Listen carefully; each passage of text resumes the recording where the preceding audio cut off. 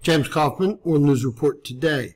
Today is August 7th, 2022, 3.30 p.m. Central here in the U.S. God bless you and yours no matter where you are in the world, folks. Please subscribe, give us a thumbs up, ring that bell for critical future updates. Ladies and gentlemen, our electromagnetic field is getting bombarded. I do know we're being hit by solar winds from the coronal hole that was Earth facing just a few days ago. These again, these spikes are from our electromagnetic field, and we're seeing spikes off the chart. Here the chart ends at 1600 hertz. These are all examples of that. So, uh, looking at this, I knew the Schumann resonance was going to be going berserk. That and the headache I have currently. Now, the electromagnetic field has been bombarded for about nine hours currently. And there she blows, folks. We are getting smacked. The geophones are as bad as I've ever seen them. Uh, it looks like it juiced itself up and slowly juiced itself down. Maybe like something orbiting or something we're orbiting. It makes perfect sense to me. Uh, same thing with the geophones. Again, guys, this is seven hours plus of intense Schumann resonance spiking.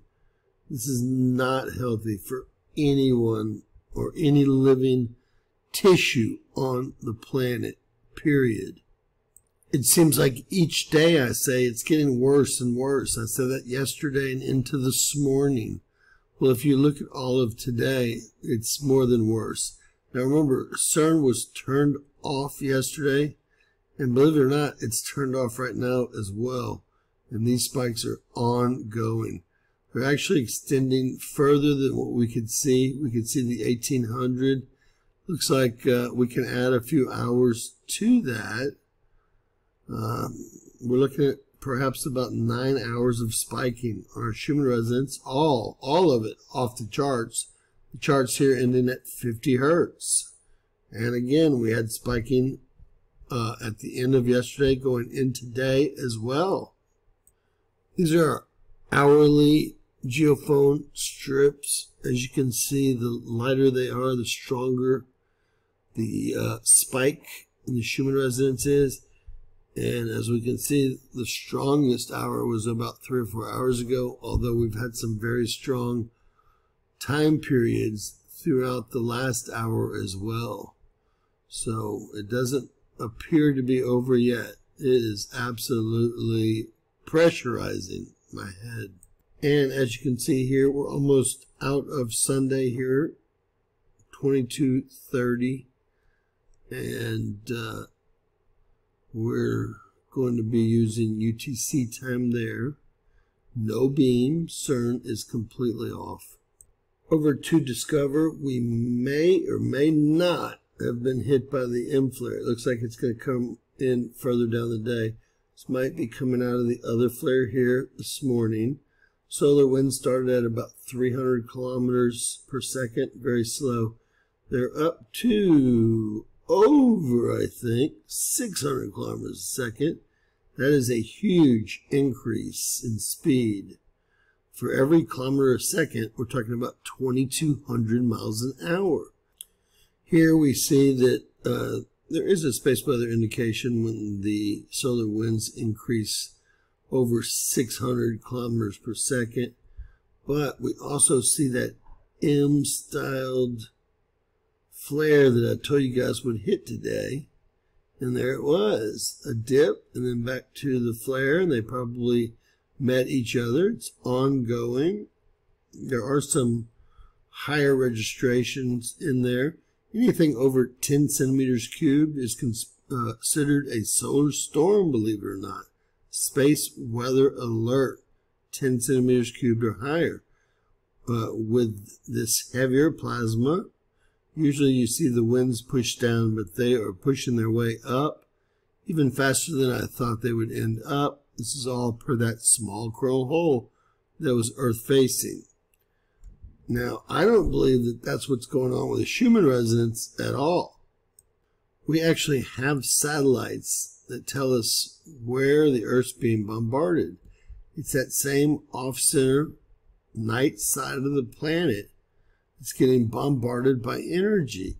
It should be the bow and the bow shock. But I'm showing you where the energy is mainly coming from. This area here, as it always does on our magnetosphere cuts, as it has for the last year or two, always lopsided there. Uh, depending on which uh, where the model is going, here the Earth's moving up at 67,000 miles an hour orbiting our sun. You would think the surface charging with all the plasma and solar winds would be here, but it's not. It's on the night side and it's exactly offset to the right as it always is and has been uh, on our magnetosphere cuts on everything we've ever seen. So since this was basically nighttime in Italy and it's, uh, well, almost daytime there, but we can gather real quickly that this might be from a second source of energy from behind the planet. Again, this is happening in Italy at night. CERN is off, and we just proved that our satellites on the night side of the planet are getting bombarded by something.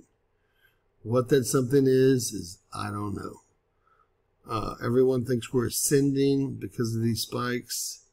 I don't know about that either. Uh, I do know that there are millions of rogue planets. I know that most systems are binary. Many of them have what's called a brown dwarf, which is ultraviolet and not able to be seen by the human eye.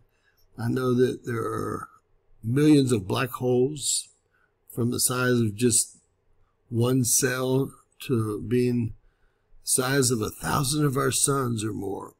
Uh, so this force could be that. It could be something we don't know anything about. I've heard a lot about the galactic sheet heading this way. I've been able to find very little out about that. This could be so many things, but it does appear again it's hitting on the backside, even with the heavy plasma in our bow, even with the solar winds at 600 kilometers per second. Our satellites are taking the main brunt. That was a real-time chart on the back side of the planet, and this would have been the nighttime side while this spiking was going on in Italy.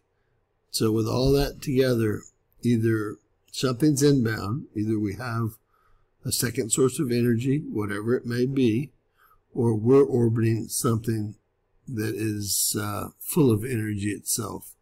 God bless you and yours. Please share. Please subscribe. Always remember, anything's possible in Bizarro World.